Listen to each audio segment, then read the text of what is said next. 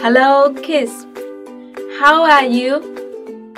Today we are going to learn about square and rectangle. Are you ready? Let's begin. Look, this is a square.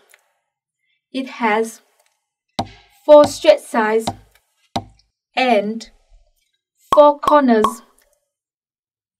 All sides are equal. Look,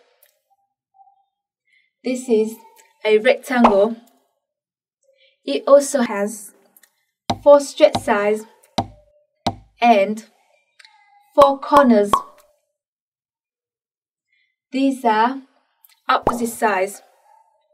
They are equal. These are opposite sides too. They are also equal. However, these are adjacent sides. They are not equal. This side is longer, so it's called the length. This side is shorter, so it's called the width. Can you see? Both the square and the rectangle have four straight sides and four corners. However, the square has four equal sides, whereas the rectangle doesn't have. The rectangle has the length and the width, where the length is longer than the width.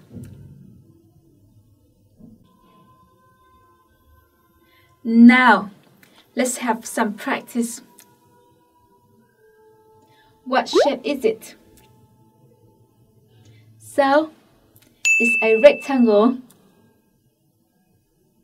What shape is it?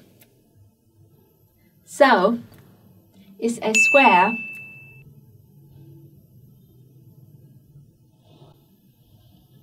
What shape is this biscuit? It's a square.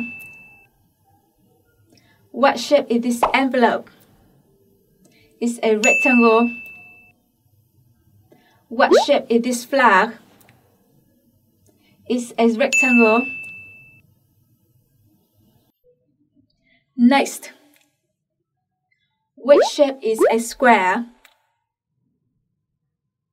So, the shape of the chessboard is a square.